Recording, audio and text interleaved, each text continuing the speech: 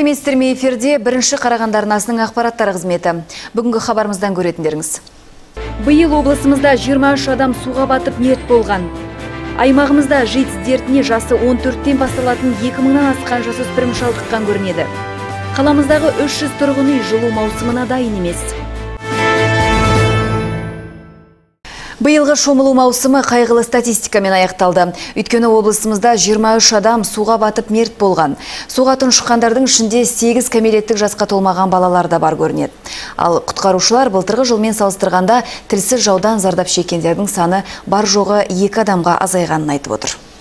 Биыл қаңтар-тамыз айларында облысымыздағы су қоймаларында 74 адам зардап шексе, 23 адам көз жұмған. Оның ішінде 51 адам қызметтің жеке құрам арқылы құтқарылған. Судан құтқару қызметінің хабарлауынша, суда орын алатын төтенше жағдайларға көбіне мас күйде шомылу себеп болады. Судағы төтенше жағдайлардың себептері болып, ең бастысы спирттік ішімдіктерді ішіп суға суға кетіп түсу, судағы қауіпсіздік ережелерін сақтамау жүзе білмеу немесе балаларды ересектердің қарауынсыз қалдыру. Мамандардың айтуынша суға бату оқиғаларының басым бөлігі бұқар ауданы мен қарағанды қаласына тиесілі көрінеді. Өйткені қайтыс болған сегіз баланың бесеуі бұқар ауданының тұрғындары болып отыр. Судан құтқарушылар су бетіне арнайы белгілерді жыл сайын орнатып келеді. Алайда оған мән бермеген демалушы топ табан астында небір келеңсіздікке тап болып жататыны анық. Судан құтқару қызметі қауіпсіздіктің алдын алу мақсатында барлық қала аудан тұрғындарына жазғы маусымның аяқталғанда көлге шомылмауды қатаң ескертеді. Қазіргі таңда енді күзгі маусым басталғандықтан су суға шомылмауға шомылмауды ескертеміз. Балықшыларға және аң аулайтын адамдарға телефондарын ұялы телефондарымен хабар туған туыстарына мекенжайларын хабарлауды ауа райы бұзылған жағдайда тек тек жағажайға ауысуын ескертеміз сақтансаң сақтаймын демекші судан құтқару тобы тұрғындарға тағы да суға шомылардың алдында қарапайым қауіпсіздік ережелерін сақтау керектігін ескертеді дегенмен ақыл кеңеске мән бермегендер әлі де болса суға шомылудан танбай отыр мақсат бейсенаев шалқар алтынбеков асылхан амантаев бірінші қарағанды телеарнасы Саран қаласында 29 жастағы азамат полиция қызметкерін ұрып соққан үшін қамалды. Оқиға сауда үйінде болған көрінеді. Екі бірдей сарандық тұрғын бір-бірімен сөзге келіп, соңы таза төбелеске айналған. Халық қоғамдық орында шу шығарған үшін тәртіп сақшыларын шақырғанға ұқсайды. Текетірес соңы полицейдің бұзақылармен жұдырықтасуымен аяқталған екен. Ішкі істер департаментінің өкілдері инженер маманының үстінен қылмыстық іс қозғалып, тексеру жұмыстарының басталғанын айтады. Денсаулық күніне орай кеншілер шақарының белсенді жастарының ұйымдастыруымен флешмоб өткізілді. Өз денсаулығына бейжай қарамайтын жастар қатысып арнайы жаттығулар жасады. Шара соңы биге ұласты. Толығырақ әріптесім Талғат Қалиұлы жалғастырады. Пойдемте зарядимся позитивом.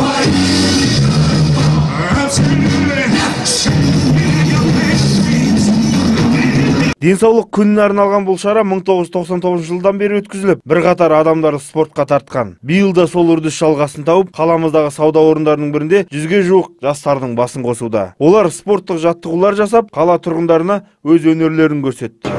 Денсаулық фестивалі атты шара өткізіледі кең ауқымда. Іс шараның аясында бүгін жастармен белсенді жастармен студент жастармен жалпы қаланың тұрғындарымен флешмоб өткізіп жатқан жайымыз бар. Бұл да бір енді салауатты өмір салтын насихаттаудың бір түрі. Сондықтан да барша қарағандылықтарды қазақстандықтарды денсаулықтары спортпен айналысуға дене шынықтырумен айналысуға кеңес береміз. Осы флешмобтың ат салысып жүрген белсенді жастардың бірі ыбырай бейсенов өзі спортпен айналысып қоғамдық жұмыстардың барлығынан қалмауға тырысады. Бүгінгі шарада да ерекше биімен көзге түсіп шаһар тұрғындарының қошеметіне бөленді. Бүгін осы денсаулық күнінің шарасына қатысқаныма өте қуаныштымын. Осы денсаулық бүгінгі осы денсаулық күніне белсенді қатысқан үшін қуанамын қуаныштымын. Енді осындай көрікке салып қалармыз енді осы ұйымдастырушыларға көп көп рахмет. Осындай іс шаралар көбірек қараңыздар көңіліңе шықпай қандай жаттығулар әртүрлі жаттығу осы өзіміз дене шынықтыруды жасаған және биледік. Осындай игі шаралар келер жылдары да жалғасын таппақ. Ал бүгінгі флешмобтың соңы биге ұласты. Тіпті егде жасқа толған қала тұрғындары да жастармен бірігіп алаңның көркін қыздыра түсті. Ну, наверное, мне тоже, наверное, стоит провести этот друзья. Повторяем за мной. талғат қалиұлы төлеген рашитов асылхан амантаев бірінші қараған телеарнасы. Алда шағын жарнамалық үзіліс арнамыздан ажырамаңыздар. Көрсетілім демеушісі Galaxy Group компаниясы. Алюгал галвин херкюль сауда белгілерімен. Торговая марка Galvin представляет Эконом-серия профиль Galtec 53 серии Эконом-система трехкамерных профилей монтажной шириной 53 мм представляет собой качественное и экономичное решение. Если вам нужны внутренние перегородки в магазин, офис, балкон или лоджию, это ваш профиль Стандартная система профиль Galvin Профиль Galvin 60 серии это система четырехкамерных профилей с монтажной шириной 60 мм. Идеально подходит для любого климата и региона. Система стандарт относится к классу А, а значит полностью соответствует современным требованиям качеству оконных и дверных профилей. А теперь новинка. Серия «Эксклюзив». Пятикамерный профиль Galvin 70 серии. Монтажная ширина 70 мм. 5 камер и наличие дополнительного паза для резинового уплотнителя значительно повышают тепло- и звукоизоляцию. Толщина лицевых стенок 3 мм. Помимо белого цвета, профиль Galvin выпускается в шести цветах. Золотой дуб, махагон, мореный дуб, темно-коричневый, орех и серый. Но и это еще не все. Имеются профили односторонние, внутренней и наружной ламинации всей цветовой линейки. Все профили торговой марки Galvin и Galtec не содержат свинца и на 100% соответствуют санитарно-эпидемическим нормам. Профиль Galvin – морозостойкий, надежный, прочный. Ал облысымызда жиц дерті жылдан жылға ушығып барады. Бүгінде аймақта жұқпалы дертке жасы 14-тен басталатын 2000-нан асқан жасөспірім шалдыққан көрінеді. Ал бұл індеттен көз жұмғандардың саны 1500-ге жетіпті. Толығырақ келесі материалда. 24 жастағы Мерейлі Нұрсұлтанов қандағы вирус үшін күніне екі рет дәрі ішуге мәжбүр. Денсаулығы сыр беріп, түрлі тері ауруларына шалдыға берген ол, ЖИЦ орталығын табалдырғын алғаш рет осыдан екі жыл бұрын аттаған еді. Бірақ 21 ғасырдың бұл індетін қалай қайдан жұқтырған өзі де білмейді. эпидрасследование болды енді қаяқтан келген бұл енді жазда қатынасқа түспедім де сосын енді балалықпен қорыққаннан енді менің атым іс жерге шығып кетпесін әке шешем білмесін деп қорыққаннан иә мен жазда қатынасқа түскенмін деп қана айттым Бар қорқынышын Мерейлі дінмен үздіксіз ем қабылдаумен жеңдім дейді. Бүгінде азамат отбасы құруды жоспарлап отыр. Жалпы Қарағанның мамандары аталған індетті облыстың 4 мыңнан асқан тұрғынынан анықтапты. Бірақ бұл ЖИЦ орталығына тіркелгендері дейді олар. Ближайший он намного Өкінішке қарай бүгінде бұл індетпен ауыратындар қатары әлде қайда көп. 4 мыңнан 50 пайызы 14-тен 29 жас аралығындағы адамдар. Осы ауруға шалдыққандардың көбі өз денсаулықтарына немқұрайлы қарайды, емделмейді. Ақ қалатылар аймақта аталған аурудың тамырына балта шабу қиынға соғады дейді. Өйткені жұқпалы індетті жұқтырғандардың көбі ЖИЦ орталығына келіп емделуге намыстанатын көрінеді. Кейбіреулері ЖИЦ орталығына келуге ұялады, ал олар бұл аурудың өзге адамдарға жұғатынын ойламайды. Сол себепті де бұл ауруға шалдығатын адамдардың саны жыл сайын артады. 90 жылдардан бері етек жайған осы дерттен тек Қарағанды облысының өзінде ғана 1500-ден астам адам көз жұмған екен мамандар бұл індетке жасы әлі 15-ке де толмаған жасөспірімдердің шалдыққанына алаңдаулы өйткені бүгінгі таңда олардың саны 2000-нан асатын көрінеді. Гүлназия Мирханқызы, Шалқар Асылбеков, Асылхан Амантаев, бірінші Қарағанды телеарнасы. Қаламыздағы 300 тұрғын үй жылу маусымына дайын емес. Бұл сан қалалық мәслихаттың депутаттары жүргізген кезекті рейтте белгілі болды. Шенеуніктер жылу беретін орындарды аралап, Қарағанды жарық мекемесіндегі атқарылып жатқан қызметтермен танысты.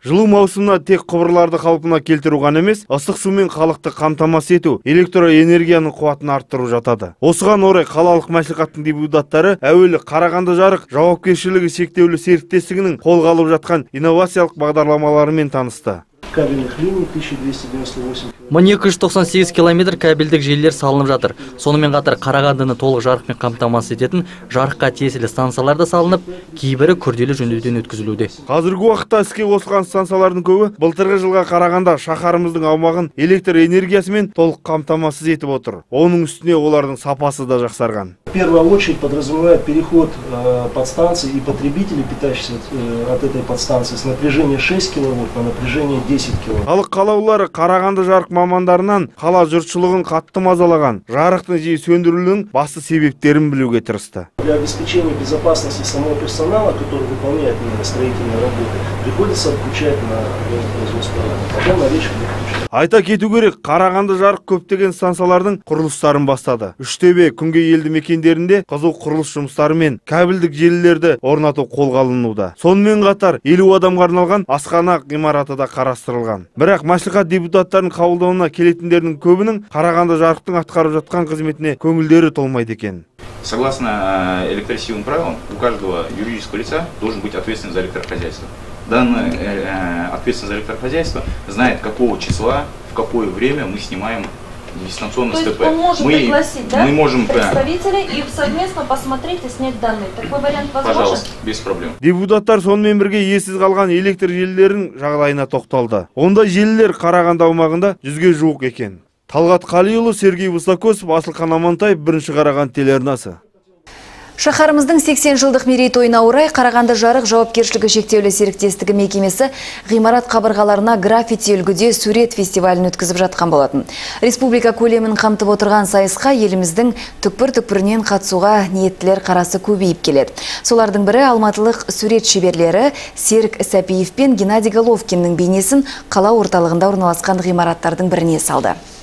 Қарағанды жарық жауапкершілік шектеулі серіктестігі мекемесі жазғы энергия сайысын жыл сайын өткізді дәстүрге айналдырған. Бұл облыстық байқауға оңтүстік астаналық суретшілер де бақтарын сынамақ мақсатында туындыларын ұсынуда. Алматыдан келген Ержан Танаев пен Аққали Закиров Жазгенов атындағы бейнелеу және өнер колледжінің түлектері сурет салумен 7 жылдан бері айналысып келеді екен. Олар қос туындыларына неліктен спорт шеберлерін алғанын былайша түсіндірді. мен қарағандыда өзім бір ақ рет болғам оның өзі ұзақ болған жоқпын бір күнге толған жоқ сол үшін мен қарағандыда туралы мағлұматым аз болды. Бірақ қарағандыға, қарағандыға байланысты сурет салыңдар деген кезде есіме осы үлкен тұлғалар түсті. Геннадий головкин мен сапиев. Сол үшін осылардың портретін салдық халық білетін танитын.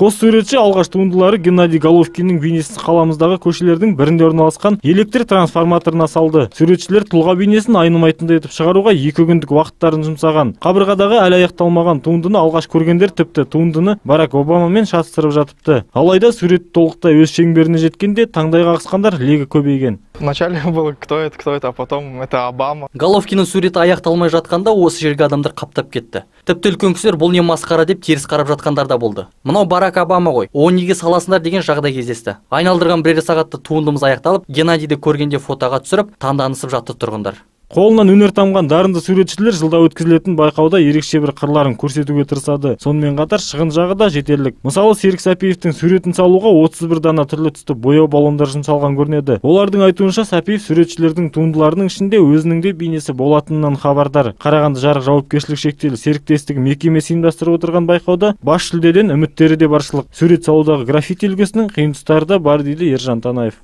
енді граффити өнерінің қиын жағы ол ә, жағдай шығар мүмкін даладағы жағдай. Не ол жаңбыр ма күн ба суық па соған төзіп ә, одан қалса өз пікірін айтатын адамдар да көп. Былай неге салмайсың былай неге салмайсың деп. Сол соның барлығына қарсы төзіп өзінің көңіл күйін түсірмей жұмысты соңына дейін апару ең қиын сол. Суретшілер алдағы уақытта Теміртау қаласында да осындай ерекше туындыларын салуды жоспарлап отыр. Аталмыш шара суретшілердің ерекше туындыларын айқындаудан бөлек шығармашылық шеберліктерін арттыруға мол мүмкіндік жасамақ дейді мамандар. Мақсат Бейсенаев, Шалқар Асылбеков, Асылхан Амантаев, бірінші Қарағанды телеарнасы. Облыстық әділет департаментінде мемлекеттік органдардың заңдық қызмет көрсету жайында үйлестіру кеңесі ұйымдастырылды. Бұл шара еліміздің Конституция күні қарсаңында өткізілді. Кеңес барысында адам құқықтарын қорғау, экстремизм мен нашақорлықпен күресу мәселелері қарастырылды. Елімізде адам құқықтарын қорғау да өзекті мәселелердің бірі. Жезқазған сәтбаев өңіріндегі жастардың сирия ауғанстандағы діни экстремистік қақтығыстарға қатысуы да мемлекет мүддесінің ескерілмеуі. Заңның әлсіздігі оның орындалуы төменгі жағдайда екендігін көрсетуде.